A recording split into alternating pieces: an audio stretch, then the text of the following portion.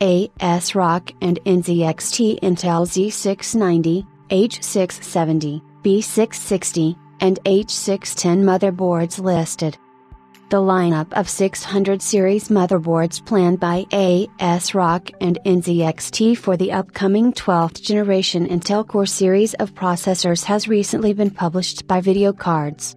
While NZXT has only two high-end Z590 motherboards listed with them being the N5Z69XT, and the N7Z69XT, ASRock has 36 listed across all the Z690, H670, B660, and H610 chipsets.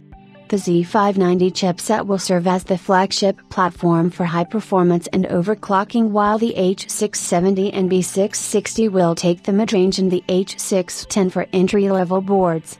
The list does not contain any Taichi, Aqua, or ROC Formula series boards from ASRock as those may not be ready for day one release or are still under active development. ASRock will offer several of their motherboards in two variants with one offering integrated Wi-Fi 6E networking, they also have an ITX option for each chipset. Intel is expected to announce their 12th generation Core series processors and Z690 chipset in late 2021 with the remaining chipsets to be announced at CES 2022. The entire list of motherboards from the two companies can be found below.